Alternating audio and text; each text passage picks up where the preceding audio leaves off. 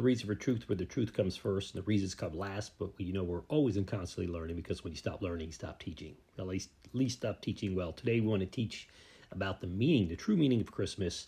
And listen, under four minutes, three minutes, I think it's 28 seconds, something like that. So God's blessings to you. Make sure you hit that subscribe button if you're uh, and if you're with us on our on our community locals. Make sure that you definitely sign up. You can do so for free, or it's just a few dollars a month to get some more exclusive videos and content and part of the community. God's blessings to you. Hey, in advance, uh, Merry Christmas. Morning. I want to talk to you today, everybody, about the true meaning of Christmas. Looking at Galatians four four to five, which says this, but when the fullness of time had come God sent forth his Son, born of woman, born under the law, to redeem those who were under the law so that he, we might receive adoption as sons.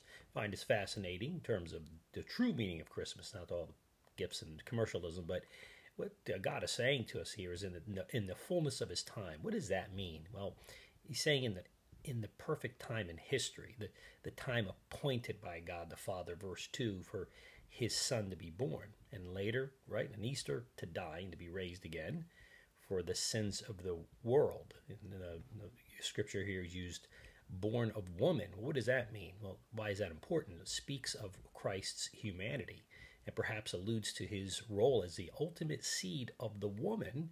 Uh, chapter uh, verses 3 to 6 and Genesis 3 uh, 15. But the words born under the law means Christ was subject to the Jewish law. Matthew 5 17 to 19 kind of explains that.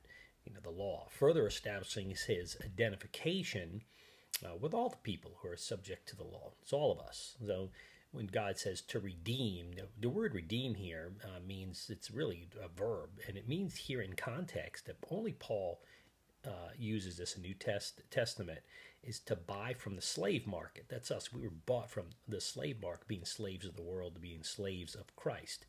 And it, it, again, it's only a, it's a term only that Paul used here in the New Testament, three thirteen, and as well Ephesians five sixteen and Colossians four five, unique to Paul. Interesting. The verb to redeem again describes Christ's supreme and final payment for the sins of humanity. Romans three twenty three to twenty uh, 5. Now, this payment, his death on the cross, frees those, all of us, who believe on him from the curse of the, of the law and slavery to sin. And this decisive payment uh, resulting results in freedom uh, for us spiritually, clears the way for Christians to become more than just cultural, but God's sons and really daughters. Although there is only one natural son in God's family, Jesus Christ, verses uh, 4 and 6, God graciously adopted all believers as his sons.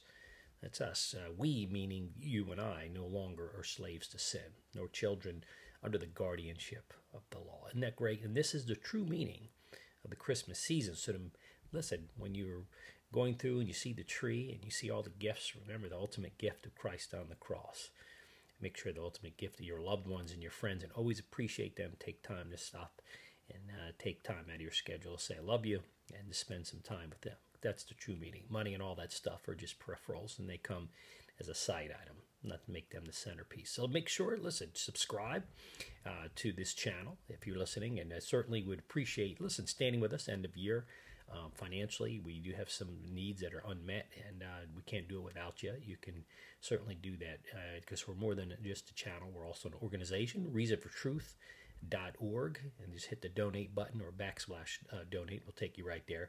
So thank you uh, kindly for all your support. God's blessings to you. Listen, Merry Christmas to you and your family.